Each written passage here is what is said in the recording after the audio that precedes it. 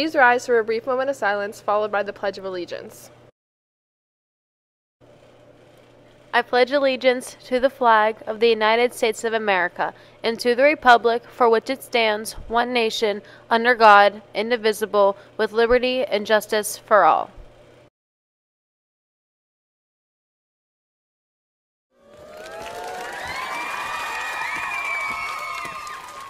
Good morning, New Brighton.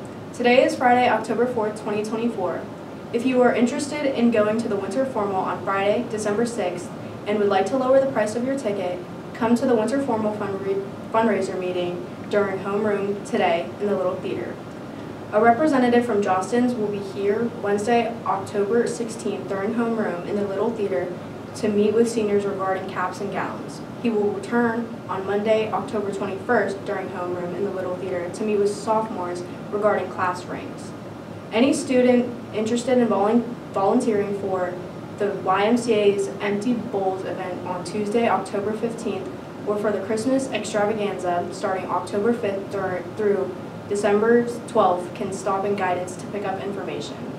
Any sophomore or junior interested in the CCBC academies or any senior interested in attending CCBC can sign up and pick up a field trip form for the CCBC Aim for the Future Friday event taking place on Friday, October 18th.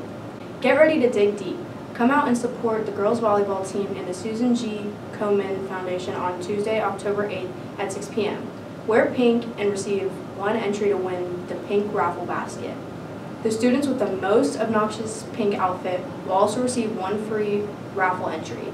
Also, bring a dollar for the skills competition of serving over the net.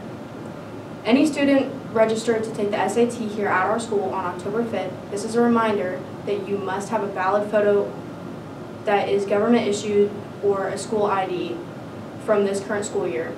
If you are in need of a school ID, please stop in guidance.